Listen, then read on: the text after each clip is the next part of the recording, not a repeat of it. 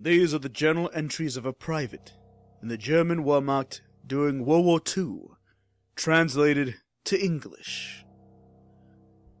The first entry dates March 1st, 1941.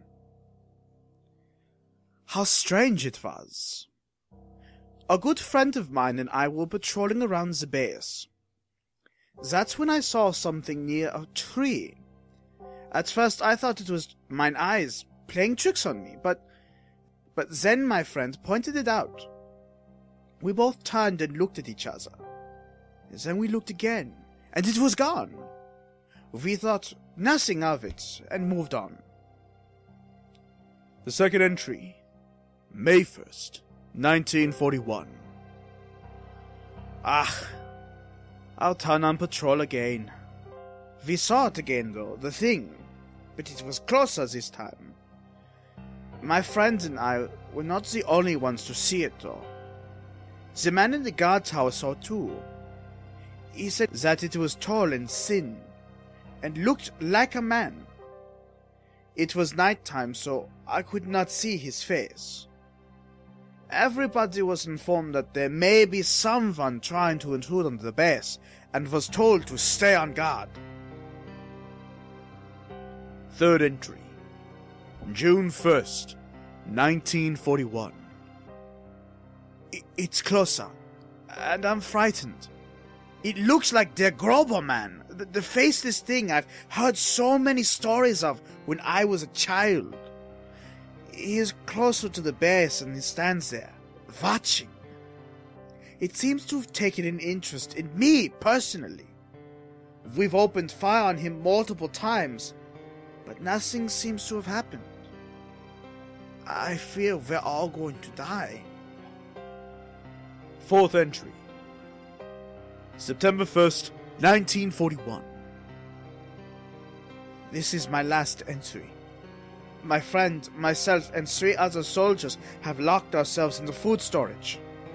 He's killed almost everybody else except for small pockets of different soldiers, holed up in places like this. I think he's outside, waiting. I, I see him whenever I look out the window. I may write more, if we are not dead. God, please, see us through this. Final entry, September 5th, 1941. Four days. Only four fucking days we've been in here. It seems like it's been months. I'm terrified. This fucking thing keeps watching me. I've tried to get him to leave. I don't want to die. I'm 22 years old. I'm much too young. I hate this. I'm scared shitless. I haven't slept in days since he started to kill others. What is also troubling is the fact that he hasn't even tried to get in. I'm sure that he could. But no, he stands there at the window, fucking mocking me. He is pissing me off. I screamed at the top of my lungs at him. He has he has no eyes, but at the same time I can feel him looking at me. I'm tired. I, oh, so very tired, and I think I might try to sleep.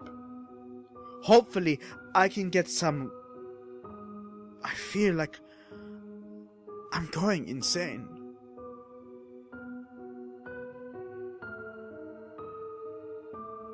After this, there are no more entries.